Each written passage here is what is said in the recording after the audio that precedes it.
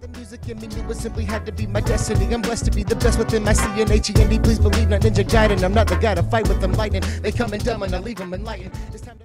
What's up, my wizards? Dev from SBMTG, that channel down there. I got something super special for you today. This includes cards from Magic Origins. This is Jeskai aggro planeswalkers, because that's what you have to do. I'm, I'm excited to bring this to you because I've been testing this out, tweaking it, taking things out, putting things in for a couple of days now. So, want to know what you think? Here it is. Well, let's play 15 creatures in this deck, four of which are Monastery Swiftspear. Well, Swiftspear does a lot of things for us. It helps Gideon flip early. It's a red spell for Chandra, Chandra, and there's lots of instants and sorceries in this deck here. So, Monastery Swiftspear started off as a three of, ended up wanting the four of because she facilitates a lot of things that we're trying to do here, which is sort of a theme with a lot of the cards that you'll see in this deck. We've also got three copies of, I'm just going to call him Gideon forever.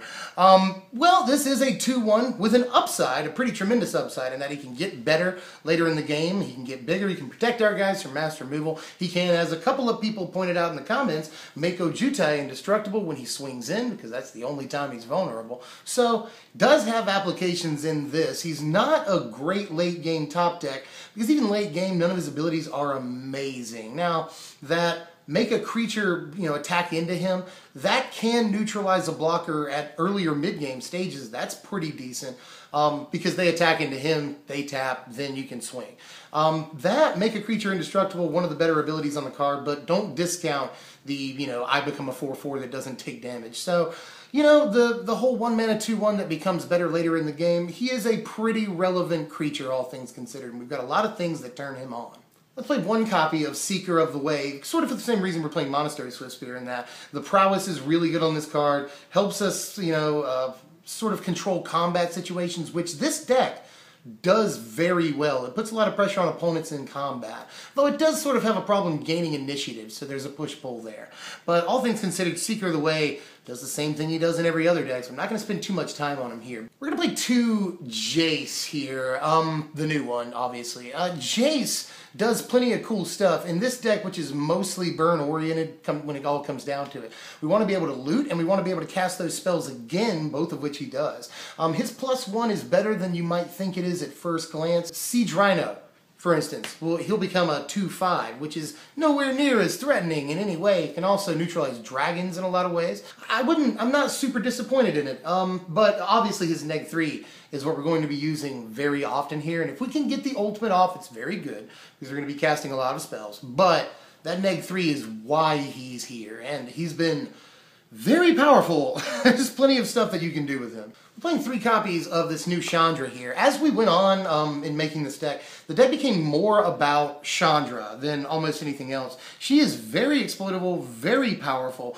We've got 22 um, sort of non-Chandra red spells in this deck, and her ultimate is a beast. No one's talking about this. Her ultimate essentially does nine damage. It does six of them, and they get the emblem, so that when you say go, they take another three damage immediately. So nine damage off of an ultimate can often win you the game in this burn deck because you've already done three damage with her to flip her in the first place. we're talking 12 right there, plus the burn you use to flip her. So she can close out a game easily, and I, I support her in like a mono red burn thing. I think she's a great piece for that deck right now, and God knows we may see even better burn here in Magic Origins. They may possibly, but probably not, bring back Lightning Bolt. How hype would that be? So, but we probably will see some more staple burn in this set. So, Chandra only gets better with better red spells, which we'll likely see. So, I I'm pretty hyped for Chandra after playing with her for a while. She's she is very good. And let's finish off the creatures. Two copies of Ojutai, Dragon Lord Ojutai. Um, Ojutai, I mean, he's a late threat, which we don't have many of. He's hard to remove. He benefits from a lot of the stuff we're doing here in the Planeswalkers and the spells. So I'm playing Ojutai just because I, I really don't see any reason not to. I mean, he's one of the, possibly the best creature in the format. We're in his colors. Let's make room for him. We're playing 22 spells in this deck here, um, three of which our Wild Slash. Um, this could also be four here. Now, any burn is going to help Chandra flip, obviously, and help Chandra deal more damage. Um, so we got to have plenty of it. Because like I said, the deck became more about Chandra as it went on. And Wild Slash is always a good card, pretty much no matter what. We're playing three copies of God's Willing. It started out as two, but this card really is an all-star. It helps your Ojutai attack safely. It helps your Chandra attack safely. I mean, this deck, this card protects everything in the deck, so it can do what it's meant to do. Either anticipate for you or flip or you know deal the two damage so it can later flip. So yeah definitely god's willing. And the scry isn't half bad either because that's scry is a very powerful effect in this deck that wants to draw lots of burn um, whenever it can. So getting lands and stuff out of the way that we don't need very important. God's willing does a lot of stuff for us here Four copies of Lightning Strike, see uh, Wild Slash for the reasons why you play this card. Again, we can cast it out of the graveyard with Jason. Flip Chandra, we can do all kinds of things with it. And it kills creatures and goes to the dome. All the Lightning Strikes. do it. We're also playing four copies of Dragon Fodder here in this slot. Uh, Dragon Fodder helps Gideon flip, and it helps Chandra flip, and it's not a terrible cast out of the graveyard with Jace. All three of our Planeswalkers gain you know, some kind of benefit or interaction with this card. And I really like Dragon Fodder 2 to help us clog up the board early game if we need to. We're playing one copy of Anticipate in the most flexible slot in the deck. This card, it, this particular slot, has been Roast, it has been um, Hordeling Outburst, it has been Raise the Alarm, it has been Dig Through Time. But I settled on Anticipate here because I want a card drawing effect, a dig effect of some kind, um, very, very badly to help the deck out, keep it going, find its burn, or whatever threat it currently needs. There's This is a very flexible slot. I went with Anticipate. We're playing three copies of Jeskai Charm. This card is probably the most often one of the two. Most often recast cards with Jace, uh, his neg 3 ability. Um, Jeskai Charm is just too good for us. It clogs up combat early game by putting a thing on top of their library. They, they, draw, it, they draw it again too, so that helps advantage-wise. Um, hits them for four if we need the burn, and gives our Seekers and Swiftspears and all of our creature planeswalkers that haven't flipped yet, and all of them, Ojutai included, lifelink and plus one plus one. We use every single mode on this card um, in different situations. So I'm thinking about upping it to four charm, but at least the three copies. This this is an all-star. We're playing two, just the two for now, copies of Stoke the Flames here in this deck. Obviously we're playing Dragon Fodder. I was playing Raise the Alarm, but I still think this card is good enough without it. Um, and again, a great recast kind of card. Um, I just, you can tell I love Jace's negative three. Um, and there's plenty of things we can do with that. So, Stoke the Flames is always a good card, one of the better burn cards in the entire format. Takes out everything that we care about except for, you know, one or two exceptions, Siege Rhino. But this usually goes to the dome or can sometimes take out their biggest threat. So, gotta play Stoke. It's great.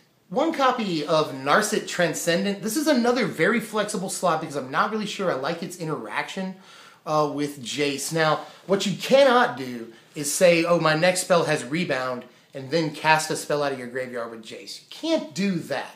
Also, it's plus one. We are playing a fair amount of creatures in this deck, and uh, you know it, it's much. It's it's not very easy to turn on its plus one to actually draw a card off of it.